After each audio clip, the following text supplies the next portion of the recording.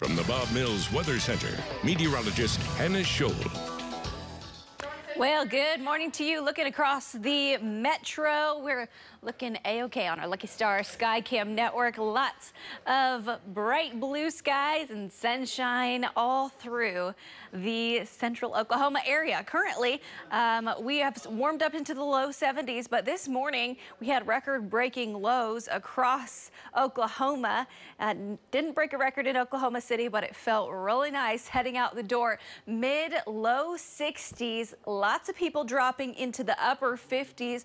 Coolest reading on the map in Texas County there along the Oklahoma-Kansas border, low 50s.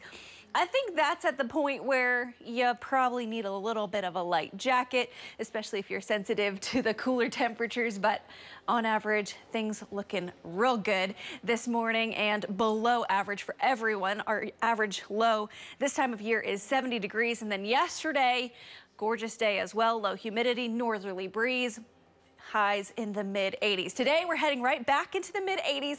It's still going to be nice out. This morning we were off to a great start, but the heat is coming back. Of course, we couldn't get used to it. Right now it's feeling like the mid 7 or mid September how it usually feels in mid-September, but of course um, the extreme heat is going to be back and it's going to be back for quite a while. Usually we don't see our temperatures really leveling out in the lower category 80s 70s until fall begins at the end of September. Labor Day the average high is 88 that's still up near 90 we still typically uh, can see temperatures in the triple digits at that point as well um, but really more dependable lower temperatures once fall begins end of September into October and definitely by Halloween seeing temperatures a little bit cooler. So we're all looking forward to it, but it's not here quite yet.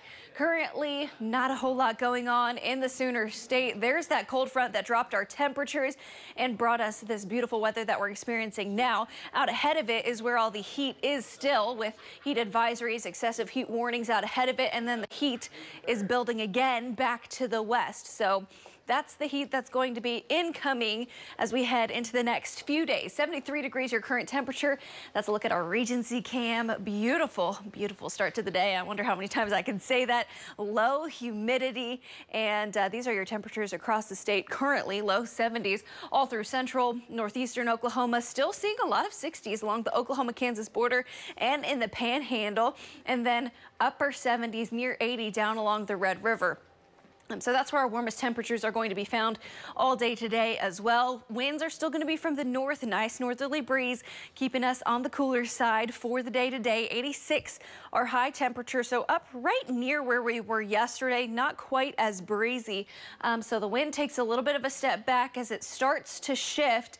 So it will feel a touch warmer than we were yesterday, but still really nice. 90 in Clinton, 92 in Hobart, 93 in Altus. More people reaching the 90s today than yesterday for sure. 63 overnight tonight, still below average. Still feeling like fall tomorrow morning. 62 in Clinton. And then tomorrow afternoon, we start to stair step it back up. We're back in the low 90s in Oklahoma City. We're trekking up into the upper 90s in western Oklahoma and southwest Oklahoma as well.